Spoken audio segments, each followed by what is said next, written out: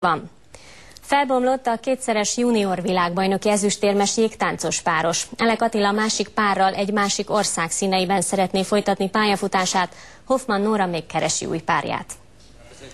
Én voltam kint Kanadában, miközben az Attilának, Attilának ugye most eltört a bokája, és ott már fölkeresett egy fiú engem két éve, hogy, hogy esetleg tudnánk együtt korizni, és, és ha már ott voltam, én ezt kihasználtam. Ez eléggé kellemetlenül érintett, Utána volt egy beszélgetésünk, ahol végül is mind a ketten azt beszéltük meg, hogy másik párt fogunk keresni.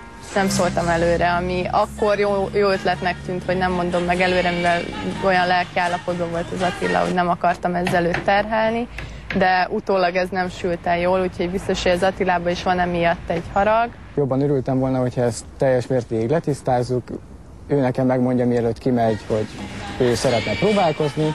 Közben pedig Elek Attilát felkérték, hogy a jövőben izraeli színekben versenyezzen. Nagyon szép volt ez a 14-15 év, amennyit együtt korcsolyáztunk, de most tulajdonképpen eljött az az idő, hogy mind a kettőnknek váltásra van szüksége, és hát a Nórának is kívánok minden jót.